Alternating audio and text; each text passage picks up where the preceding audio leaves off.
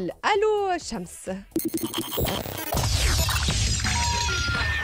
الو الو الو شمس طبعا قضية الطفلة اللي مشيت في مركب الهجرة غير النظامية لإيطاليا اللي عمرها ثلاث سنوات كان حديث الرأي العام الكل. خلينا نقول حديث الرأي العام المسؤولين والناس الكل وكنا آه، في مواكبة لأبرز تطورات القضية. هذه التفاصيل الجديدة اللي جاتنا البارح. هو الإذن بتسليم الطفلة لعائلتها آه، آه، طبعا مع جدل مازال متواصل حتى مع هذه الأحكام وإلا آه، آه، هذا الإذن. فما جدل. إحنا باش ناخذوا أكثر تفاصيل لأن مش عارفين بالضبط شنو آه، اللي صار. معنا الناطق رسمي باسم محاكم منستير المهدية فريد بن شحاسي. فريد صباح الفل ومرحبا بك.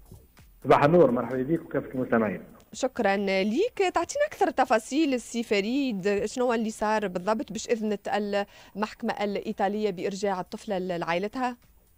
هو كما تعرفوا أنه كان صدر قرار عن قاضي الأسرة بالمنستير في 24 أكتوبر 2022 كان مكن المندوب العام لحماية الطفولة السيد مهيار حمدي من تسلم الطفله ليندا المولودة في 28 سبتمبر 2018 من السلطات الإيطالية وذلك للعودة بها إلى التراب التونسي. نعرفوا أن قاضي الأسرة كانت تعهد فيما يعرف بإجراءات الطفولة المهدئه إثر عملية إبحار خلسه كانت معناها اثرها تم فتح بحث تحقيقي في والدي الطفلة وفي كل من شارك في ذلك الوفاق الإجرامي. وباعتبار الحال الطفلة هذه كانت طفولة مهددة عاد هذه أسرة وأصدر ذلك القرار. وكنت دخلت في عديد المحطات الإذاعية وقلت راه فما اتفاقية آه، تعاون قضائي. آه، على أساسها كل دولة من الدولتين التونسية والإيطالية آه، تتمسك معناها بكونه إذا كان صدور حكم يخص الدولتين فإنه الدولة الأخرى آه، تتعاهد بتنفيذه. وهذا الحصول هو آه، مشكور القضاء الإيطالي. هو ديما راهو المعيار في مثل هذه القضايا هو مصلحة الطفل الفضل اي ولكن هو رفض من الأول si si هو هذا عكس ما تم تداوله. راهو راهو برشا معلومات تم تداولها. صح لنا يا سيدي. باش نصحح إحنا علاش ما كانش فما برشا تسريبات خايفين على إن الطفله هذه يقع معناها آه، إيداعها ولا ال regroupement familial نتاعها في احدى المؤسسات الإيطالية. هما غادي قانونهم الإيطالي يسمح بكونه القاصر يكون على التراب الإيطالي. هما يراعيوا مصلحته ويشوفوا إذا كان فما أي خطر يهدد مصلحته في الرجوع إلى بلد المنشأ. انه ما يقعش تسليم ويقع إيداعه في مؤسسة أو في عائلة إلى حين معناها تقعد غادي ويعطيها جميع الامتيازات من حيث الصحة والتعليم وغيره. لكن اثبتت التجربة في 15000 طفل موجود في إيطاليا انهم في سن معينه يغادروا المراكز هذه. ونجم لا قدر الله ينحرفوا. وقلنا راهو البنية هذه كانت في عمر حساس ياسر أربع سنوات. ما تنجمش تندمج ولا تتأقلم بعيدا عن عائلة بتاعها. دونك لنا السلطات الإيطالية آه، وخاصة السلطات القضائية اللي تعاهدت في الموضوع تعاهد الوكيل العام للجمهوريه الإيطالي بهذا الموضوع. وكان اذن من الأول في وضع الفتاة هذه الطفلة هذه في آه، مؤسسة نتاع رعاية. وأذن بإجراء أبحاث اجتماعية للنظر فماش حتى حاجة أو خطر يتهدد مصلحة الطفل في رجوعه إلى تونس. أي. وكان معناها المندوب العام للطفولة والسلطات آه، والقنصلية التونسية مشكورين معناها كنا الملف هذا تخدم بتكاتف عديد الجهود كما بروز البارح. في بيان وزارة الأسرة دوك الخارجيه والأسرة والعدل آه، وعديد معناها المصالح مع القنصلية التونسية في إيطاليا كانوا معناها حريصين على إرجاع الطفل لتونس طبقا للقرار صدر في تونس عن قاضي الأسرة.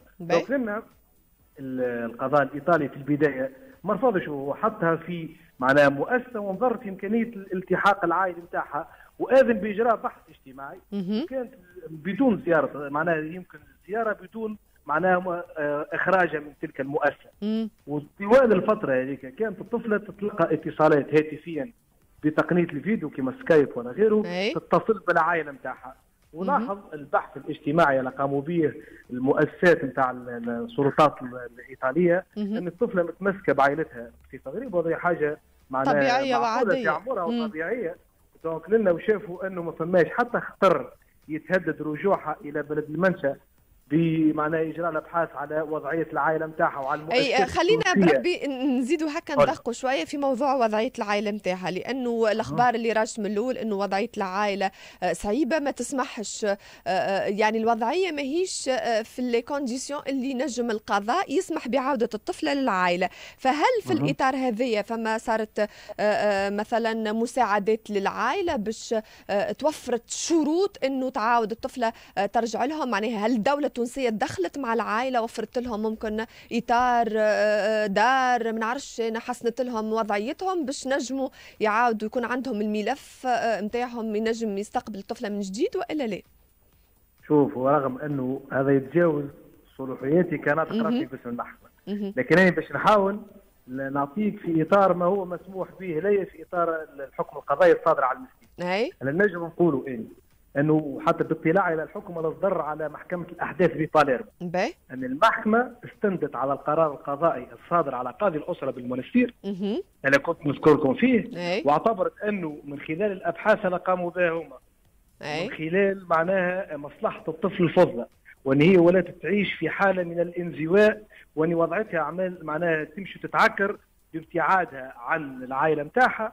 كيف كيف في الاختلاف الثقافي والاجتماعي اللي تعيش به الطفلة واعتبروا أن مصلحتها هو تنفيذ ذلك الحكم الصادر عن محكمة الأسرة بالمنستير اللي هي اعتبرت أنه في تلك العمر هو بقاء في تلك الأسرة. بطبيعة الحال راهو آه، شافوا أنه سفر المندوب العام للطفولة شخصيا. معناها أنه فما حرص كبير من الدولة التونسية أنها تعتني بمصلحة الطفل اعتمادا على الدستور التونسي في الفصل 52 اللي يقول على الدولة توفير جميع أنواع الحماية لكل الاطفال دون تمييز وفقا لمصالح الفضل. وتو- واعتمادا على مجلة حماية الطفل التونسية اللي هي كيف كيف في الفصل آه، الرابع نتاعها تقول أنه يجب اعتماد مصلحة الطفل الفضلى في جميع الإجراءات الإدارية والقضائية المتخذة.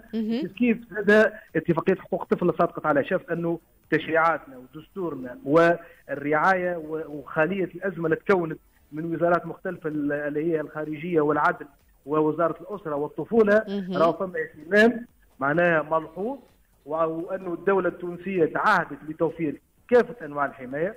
واستندت في قرارها على أن مصلحة الطفل هذه في ذلك العمر بالذات هو إرجاعها وتنفيذ القرار الصادر عن محكمة الأسرة ولا على قاضي الاسره لأن نعتبره انتصار للدولة التونسية لأنه عكس ما تم تداوله في وسائل التواصل الاجتماعي ما فماش حتى وعود كانت أنه البو والأم يسافروا إلى أي. إيطاليا وما فماش حتى ضمانات أنه حتى لو كانوا يسافروا ولا يمشوا الغادي أنه باش يقع تسليمها.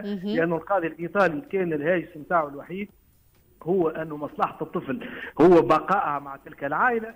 أو إلحاقها بمؤسسة رعاية إيطالية وتبقى غادي دونك الحمد لله انهم هما شافوا أنه ما مشوش في الخيار آه، آه، الثاني. هو معيارها هو المعيار الأصلي لضمان مصلحة تلك الطفل. واضح وأتوا معناها المعلومات اللي زادت جاتنا إنه آه، سيدة وزيرة المرأة كانت أكدت إنه كان فما آه، خدمة قامت بها الوزارة مع كل ال- الأطراف المتدخله من أجل توفير الظروف الضرورية لتأمين حياة آمنة للطفلة وللعائلة. تم إدراج الأم في برنامج التمكين الاقتصادي من أجل الحصول على مورد رزق إضافة إلى تمتيع العائلة بالمنظومة العلاجية المجانية ودفع مستحقات كراء المنزل اللي آه، آه، يتسوغوه وتأثيثه بالكامل وزاد المتابعة الصحية لشقيقة الطفلة هذه الطفلة الأخرى اللي كنا حكينا عليها زاد اللي عمرها سبع سنوات واللي عندها مشاكل صحية. donc يبدو أنه تم آه، توفير كل الظروف لاستقبال البنية وإن شاء الله العائلة هذه تعاود تمارس حياتها بصفة طبيعية وإن شاء الله يتم علاج الطفلة الأخرى والبنية هذه تتجاوز هالأزمة ممكن اللي عاشتها. ومشكور سي فريد بن جحا سيدي على تواصلك معنا وعلى كل التفاصيل اللي قدمتها لنا. الناطق الرسمي باسم محاكم المنستير والمهدية. شكرا.